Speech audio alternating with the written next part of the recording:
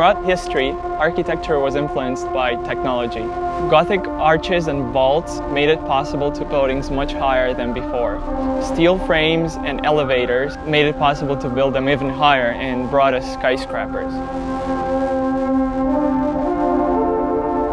Last century, computer-aided design was brought and uh, it was the last leap in this uh, technologies.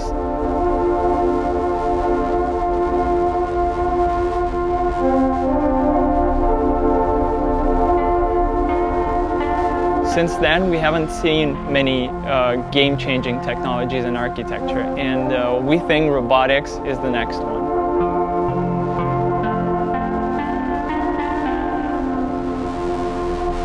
One of the good ways of implementing robotic system into the construction industry is um, additive manufacturing uh, technology, which has been proved as a very powerful tool when it comes to moment that you need to produce very complex shapes. But usually it, it was the case just in the, in the small scale. Our focus within this project was also to investigate applying additive manufacturing to the large-scale fabrication.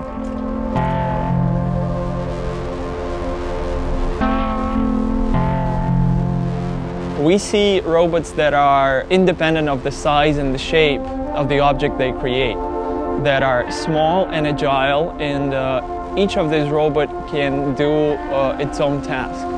We decided to make a group, a community of robots, which have their own tasks and uh, that are small but can create very big structures.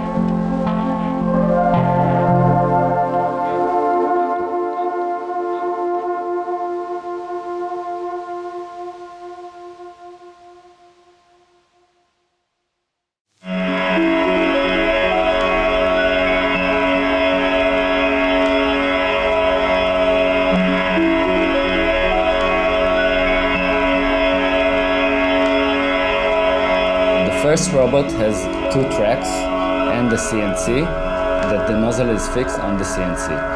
The nozzle can uh, go up till 15 centimeters and this is how we create our first 15 centimeters of the structure. In the front of the robot we have ultra-red sensor that recognize the path on the floor, on the ground and it follows the track. It follows this uh, line and this is how it prints the first layers. So this is the second robot, which clamps onto the layers previously printed by the first robot. With this mechanism, it clamps onto those first layers, and then these servos are then rotating the rollers, which is pushing the robot around that already printed structure. As it's going around, the really special thing about this robot is that it's printing on the layers it's already printed. In this spiral that it's printing, it's then constantly going over the layers that it's already printed.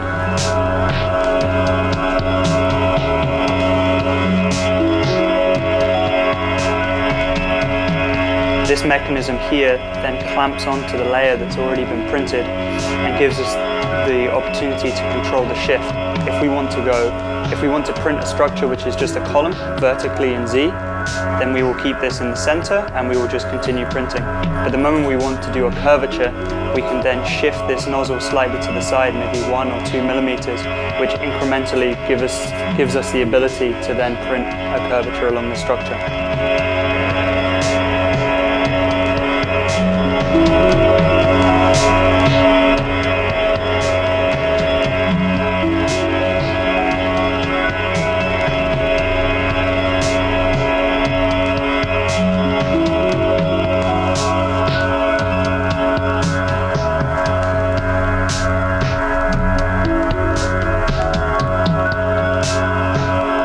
So after the first shell is done, uh, the third robot is gonna print on top of the first layer and it's gonna move freely on it, even, even if it's uh, upside down. This is enabled by a vacuum generator here and the, a suction cup at the bottom of the robot. When it's printing, the, walk, uh, the generator, a rotor inside is gonna rotate very fast, so it's giving a low pressure of air at the, at the bottom.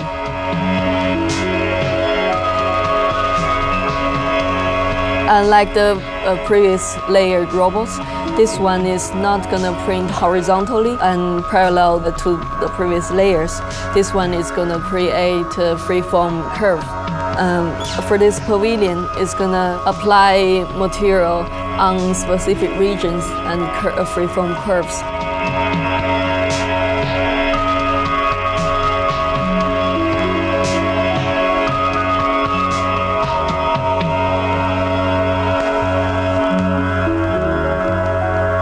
This Swarm robotic 3D printed prototype is an effort of uh, bringing additive manufacturing into construction scale. We know very well that additive manufacturing has been influencing a lot disciplines such as medicine and such as product design, but we as architects, we are uh, very much into investigating how this technique is going to change the way we construct.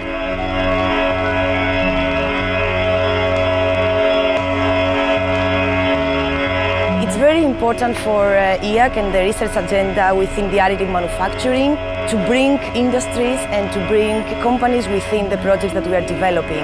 We really consider that in order to uh, achieve innovation and new ideas and projects, we need to bring together academy with uh, industry. And that is what we're trying to do within the, the Open Thesis Fabrication Program.